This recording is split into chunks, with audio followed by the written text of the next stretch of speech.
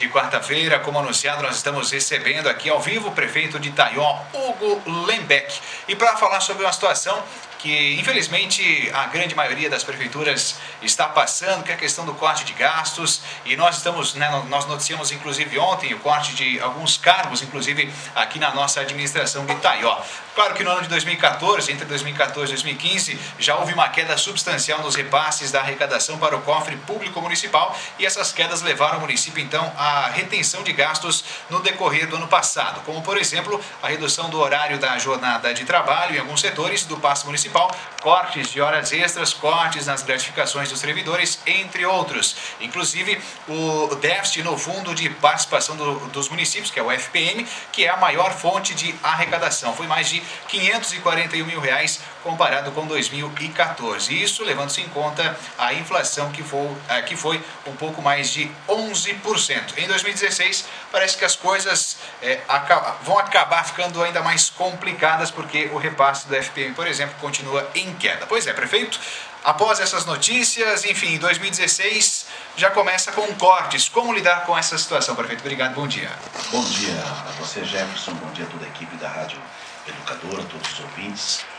É difícil né, lidar com isso, né? Porque a gente, como administrador público, qualquer um dos, dos administradores, seja quem for, os atuais, os futuros, enfim, né, qualquer um de nós quer é, falar de coisas positivas, quer realizar muitas obras, quer fazer é, é, a, a, população ser bem atendida. Né? E, infelizmente, nem sempre isso é possível, uma vez que nós temos é, um orçamento e nós temos um recurso que é, a gente tem que trabalhar em cima dessa situação. Né?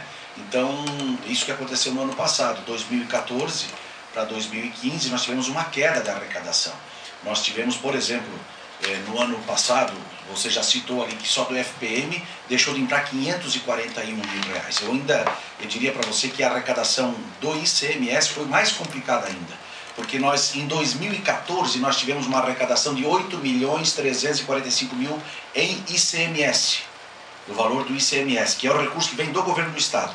É, é, é um valor que é a segunda maior arrecadação. A primeira é justamente o FPM, a segunda é o ICMS.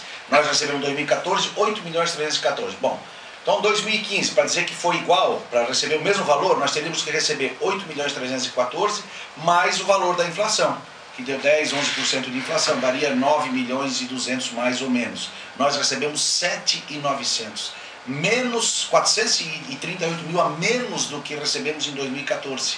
Já diminuiu ali só de, de e deixou de entrar daquilo que estava previsto, se fosse com a, com a inflação junto, 1 milhão e 300. Então é, é uma conta fácil de fazer. É 2 mais 2 é 4 em matemática e isso não tem. Então é muito difícil, né? A gente tem que fazer algumas, algumas medidas, tomar algumas medidas que são impopulares, outras medidas a gente faz com o coração apertado, porque quando a gente fala em demitir secretário, demitir eh, chefe de gabinete, quando a gente fala em demitir diretores, eh, a gente não está falando de tirar pessoas que não fazem nada, nós estamos falando de pessoas que estão ajudando a repartir a carga do prefeito. São pessoas que estão na, numa, numa estrutura de uma administração que não criei agora. Isso, nenhum cargo desses aí que eu estou mandando embora foram cargos que a gente criou agora. Nenhum deles. Todos eles eram cargos que já existiam na administração anterior, em outra administração e assim vai indo. Todos, todos os prefeitos é, tiveram secretários, todos. Né? E agora nós reduzimos para metade. São quatro secretários apenas que nós estamos tendo nesse momento e a gente vai ver a evolução da administração, da, da arrecadação melhor se a gente daqui a pouco tiver que fazer mais alguns cortes. Mas você corta aquelas pessoas que estão ajudando a repartir a carga. Isso é pesado, é difícil, sobra mais carga para a gente. Nós não estamos mandando embora gente que não faz nada, nós estamos repartindo a carga e daqueles que estão nos ajudando e agora a gente consegue, eh, vai ter que ter mais é, envolvimento, mais trabalho, enfim, né, vamos ter que fazer um pouco a mais, pedir a colaboração de mais um e de mais outro e a gente trabalhar mais em equipe procurando é, resolver esses problemas. Mas é bastante complicado, né? A gente fez as medidas já no ano passado, você já citou algumas. Né? Uma outra medida que a gente tomou no ano passado também foi fechar o Cerevise, que é, já né, teve alguns, algumas, é, é, algumas recuperações de pessoas que passaram por lá, outras nem tanto, então ele não tinha uma, uma, uma eficiência é tão grande. Ou a gente investia mais nele, contratando psicólogo, contratando é, psiquiatra, contratando é, mais profissionais para melhorar o atendimento, ou a gente parava. Então, naquele momento, a gente já optou por isso também. Aí, serviço, por exemplo, você fala em meio período de atendimento. Eu não gosto disso. É ruim, é horrível, porque a população acaba perdendo. Mas, infelizmente, é, as pessoas vezes acham, ah, o prefeito não faz isso porque não quer. Nós trabalhamos com recursos. Se tem dinheiro, faz. Se não tem, não faz. É que nem você. Você trabalha hoje aqui na Rádio Educadora, ganha 20 mil por mês. Opa, não é tanto? Mas assim, a gente trabalha em algum lugar. Vou dar um exemplo da pessoa que está em casa. Trabalha num lugar, ganha 2, 3 mil reais por mês. Aí tu, daqui a pouco tu vai, vai o teu salário vai reduzir, tu, tu, não, tu não vai conseguir mais ganhar 3 mil por mês, tu vai ter que trabalhar, tu vai ganhar 2 mil só você vai ter que fazer a redução das suas despesas, porque senão você vai ficar um devedor. E é isso que a prefeitura está fazendo nesse momento. Nós ganhávamos 3 mil por mês, agora vamos ganhar 2. Nós estamos reduzindo a despesa para a gente conseguir gastar aquilo que a gente arrecada e não ficar devendo, porque final desse ano eu tenho o último ano de mandato e a lei da responsabilidade fiscal é muito clara. O prefeito tem que entregar as contas em dia. Eu não posso ficar devendo de um ano para outro, especialmente no final do mandato. Ano passado para esse ano nós já ficamos devendo alguma coisa. Então, mas ainda tem o último ano para a gente fazer os ajustes. Agora, esse ano eu sou obrigado a fazer. Por isso, nós já decidimos, início do ano, a arrecadação continuou caindo, nós já fizemos essas demissões. É, são três secretários, nós, nós tiramos é, o secretário da Agricultura, secretário da Indústria, Comércio e Turismo, secretário da Assistência Social, chefe de gabinete, e já estávamos sem o secretário da Saúde. E não quer dizer que ah, vai, vai parar essas coisas. Não, não vai parar é, o diretor da área vai responder. Por exemplo, tem alguns casos desses aí onde os secretários deixaram de ser secretários, mas ficaram diretor e, e, acabou saindo outra pessoa que era o diretor. Então, nós apenas diminuímos salário, diminuímos, fizemos algumas trocas, alguns cargos desses. Outros é, foram realmente demitidos e foram embora. Tá certo. Prefeito Hugo, falando a respeito da questão da educação, por exemplo, o repasse eh, do Fundo de Manutenção e Desenvolvimento da Educação Básica e de Valorização dos Profissionais de Educação, o Fundeb, também não está eh, sendo suficiente, então, para cobrir eh, sequer a folha salarial dos professores. Haverá mudanças também na educação para se adequar a essa realidade, prefeito? É, nós estamos fazendo algumas mudanças também para aproveitar melhor os profissionais. Ao final do ano passado, nós encaminhamos para a Câmara de Vereadores um projeto de lei onde nós pretendíamos estar instituindo a figura do educador assistente. O que, que é o educador assistente? E talvez aí que os vereadores não entenderam, talvez alguns não quiseram entender, ou foi uma pressão também dos, dos professores ACTs, a gente entende essa, essa é, é, essa preocupação deles, daqui a pouco está perdendo espaço. Mas o que é o educador assistente? Quando eu vou no médico, quando você vai no médico, o médico vai te, vai te examinar, não é isso? Não é, Jefferson? Não vai te examinar? Vai fazer, vai te examinar. Aí vai dizer assim, ô enfermeira ou auxiliar de enfermagem, vem cá, faz o, o mede a pressão aí para ver como é que está a pressão. Quem é que vai fazer a medição da pressão? Não é o médico, é auxiliar de enfermagem. Ah, tem que fazer uma injeção. Quem é que vai aplicar? É auxiliar de enfermagem. Então isso não quer dizer que por isso o serviço do médico vai ser é, um serviço que vai, vai ficar é, diminuído. Né? Não, vai, não vai, ter, vai ter menos eficiência. Não. Era isso que a gente queria nas, nas nossas creches também, nos nossos centros de educação infantil. Instituir a figura do educador assistente, que é aquela pessoa que vai estar lá dentro da sala de aula, junto com o professor. Nenhuma sala de aula vai ficar, iria ficar sem o professor, nenhuma sala, todas elas iria ter professor e além disso um assistente, aquele que vai trocar a fralda da criança, aquele que vai botar a criança para dormir, aquele que vai recepcionar a criança de manhã cedo, vai chegar mais cedo, vai recepcionar. Era um profissional que eh, iria de manhã das sete a uma e outro que iria do meio-dia às seis e ao meio-dia estariam os dois juntos trabalhando, sempre dizendo junto com o professor. Para vocês terem uma ideia, nós tivemos ano passado 711 contratos de trabalho na prefeitura. Desses 711, 417 eram da educação. E a grande, mas claro, nós temos os motoristas, nós temos os serviços gerais, mas a grande maioria profissionais da educação, professores com graduação, com faculdade e muitos deles com pós-graduação.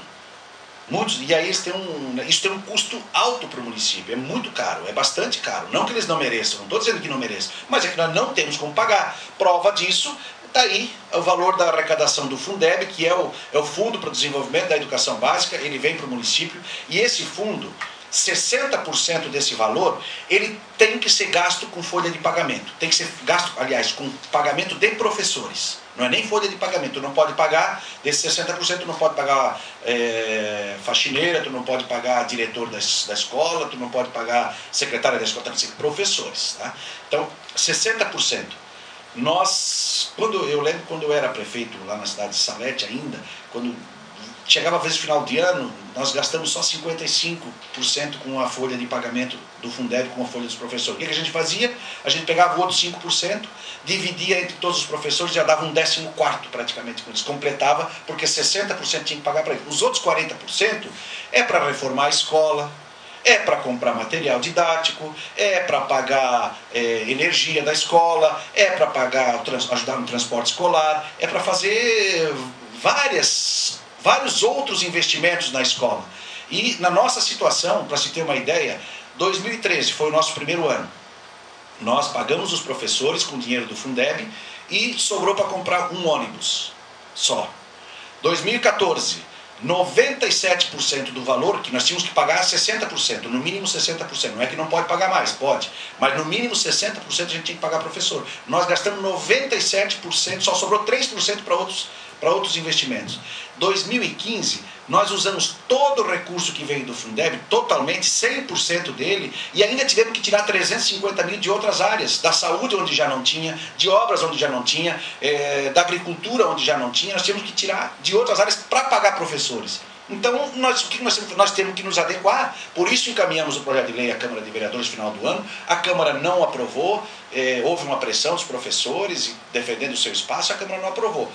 O que, que nós vamos fazer agora? O que nós estamos fazendo? Tomando algumas medidas que vão adequar para isso. Nós é, estamos, da forma como estava, nós estamos eliminando o serviço do PET, que existia lá no seminário, que era antigo PET, na verdade é, é o serviço de convivência e fortalecimento dos vínculos da família é, da forma como ele estava sendo colocado, era um contraturno na escola. E isso a própria Secretaria da Assistência Social do Estado, que repassa recursos para manutenção, não aceitava mais. Ela tem que ser diferenciada. Então, a gente eliminou aquela estrutura, vamos aproveitar lá cinco ou seis professores profissionais que trabalhavam lá, sete, oito, se não me engano, que trabalhavam lá. É, talvez vamos precisar de um e vai funcionar junto no CRAS, o serviço de convivência, esse antigo PET, de uma forma diferenciada, somente para alunos encaminhados pelo CRAS aqueles que têm os problemas identificados pelo, pelo, pela, assistência social, pela assistência social do município. Então, ali vai dar um, uns 200 mil quase de, de, de, de, economia durante o ano. Então, a gente tem que tirar isso aí. Aquela economia que nós vamos fazer com os profissionais no ano passado, aliás, nesse ano com, os, com o auxiliar, é, com o educador auxiliar, é, a gente iria atingir 500 mil. Então, não deu, a gente vai ter que economizar ali. Nós estamos também é, atendendo os alunos matriculados na creche Sementes do Amanhã, que é ali próximo à, à Casa da Cultura. Nós estamos, vamos atender em outras unidades. Alguns foram transferidos para o PUF, alguns, a grande maioria, para o seminário, onde nós temos essas duas unidades novas, que foram inauguradas na nossa administração. Lá no seminário nós temos um espaço extraordinário para atendimento das crianças, nós tínhamos salas fechadas lá também. E o que, que vai acontecer com isso? Nós vamos economizar na administração na, da, da, da, entidade, não precisa um coordenador mais ali, só uma coordenação lá da, da conta. É, os profissionais da área da limpeza, merenda, com 48 alunos a mais, ou que não foram todos para lá, com 20, 30 alunos a mais, são os mesmos profissionais. Alguns daqueles alunos vão ser enquadrados dentro da mesma turma, não vai ter superlotação na sala de aula, não vai ter. Os profissionais vão ser, os professores, os alunos vão ser encaixados para não haver essa superpopulação e as crianças vão ser melhor atendidas num espaço onde tem playground, onde tem uma quadra, um pátio coberto, onde tem a sala, abrindo a porta da sala tem um solário onde as crianças podem brincar, pegar um solzinho quando tem, né, que ultimamente está chovendo muito, mas quando tem vão brincar pegar um solzinho, que isso faz bem para a saúde, tem uma, um refeitório adequado, tem umas condições muito melhores do que estão. E essa medida não vai deixar de atender nenhuma criança e ao mesmo tempo vai nos proporcionar uma, uma economia de cerca de 12 profissionais que estavam trabalhando ali. Nós vamos conseguir é, eliminar 12 profissionais, são 12 ACTs a menos que nós precisamos contratar esse ano por ocasião de fazer esses ajustes. Então, a gente precisa trabalhar com isso. Né? Ah, ah vai reclamar às vezes, putz, mas estava do lado da minha casa, agora não tem mais. Mas ali o PUF é pertinho, é atravessa a ponte, vai lá para o outro lado, né, entre a saída para Salete, é perto. Os bairros seminários também é um quilômetro e pouquinho dali, então não é tanta diferença, não é tanta distância, e a população, eu quero pedir para a população entender e nos ajudar, é, porque a economia não é só o prefeito que tem que fazer. Todo mundo, assim, a gente sempre dizia, né, cada um que a gente ia conversar, pois é, talvez não tenha que fazer algumas demissões. Cada um dizia, pois é, eu sei, prefeito, a gente entende isso, mas a gente entende mais fácil quando é com os outros, né?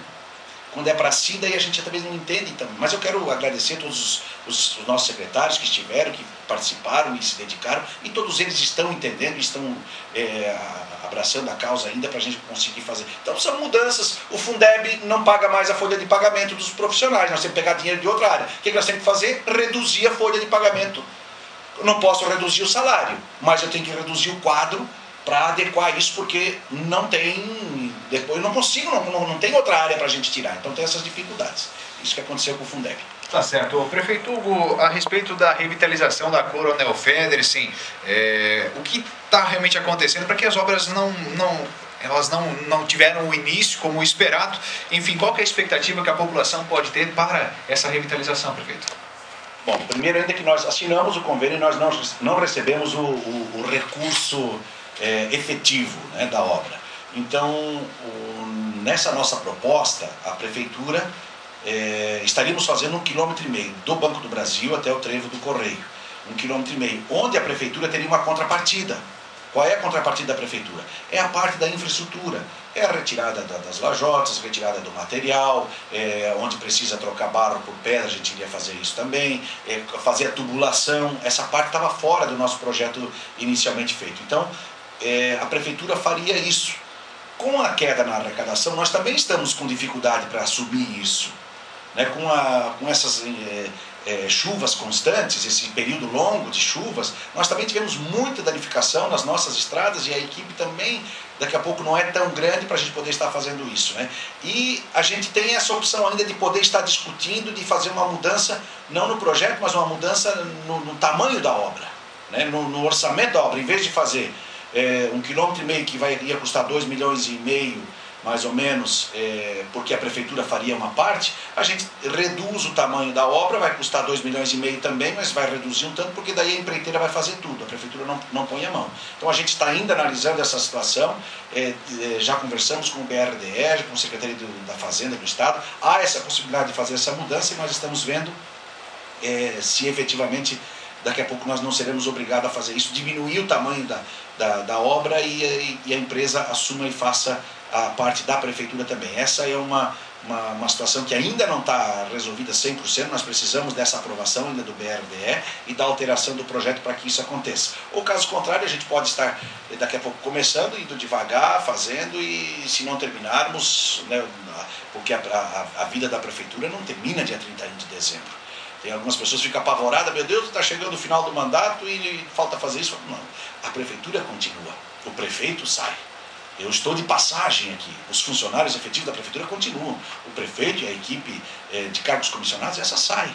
Mas a, a, a, vida do município continua. Então, tem, nós terminamos, nós concluímos obras iniciadas na administração anterior, como creches, postos posto de saúde, né? e certamente outro prefeito que virá deverá continuar obras que nós estamos fazendo, né? que espero é, concluir a maioria, quase todas elas, ainda esse ano, mas o que não for possível, a gente certamente o outro prefeito irá fazer também. Então essa é a realidade, estamos ainda analisando, não tem ainda 100% da definição como é que vai ficar, ou o município assume, toca e começa e vai indo mais devagar e faz, ou nós teremos a alteração do, do projeto e aí diminui um pouco. Estamos verificando a situação.